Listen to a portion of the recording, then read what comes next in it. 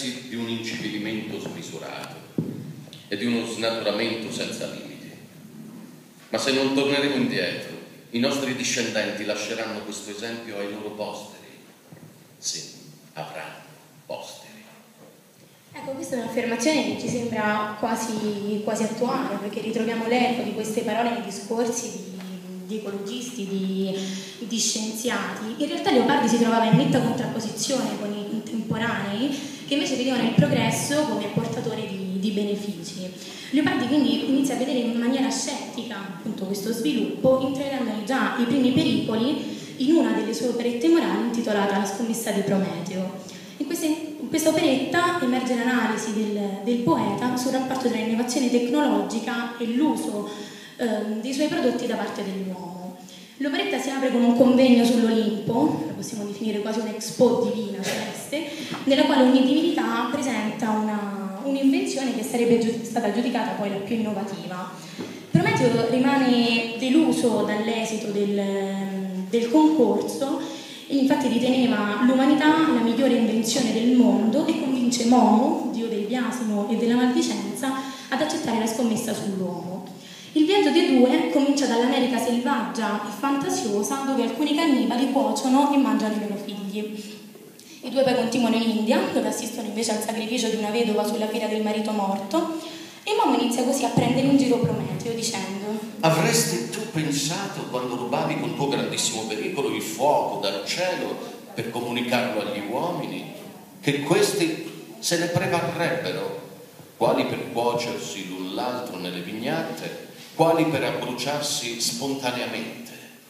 Prometeo non abbandona la sua fiducia nell'uomo e nella sua civilizzazione e infatti ribatte. Ma considera che quelli che fino ad ora abbiamo veduto sono barbari. E dai barbari non si deve far giudizio della natura degli uomini, ma bene dagli inciviliti. È o ferma opinione che tra loro vedremo e udremo cose e parole che ti parranno degne non solamente di lode, ma di stupore.